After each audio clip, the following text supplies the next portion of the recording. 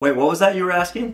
You were wondering what types of wood look best with paint over them? Oh yeah, let me show you. So if you're looking at painting over wood, you know, oak woods do okay. They still show a lot of the grain. It's not the fanciest grain. If you want just like a clean, pure look, maple cabinets painted over look so clean. It looks like the cabinet was made that way.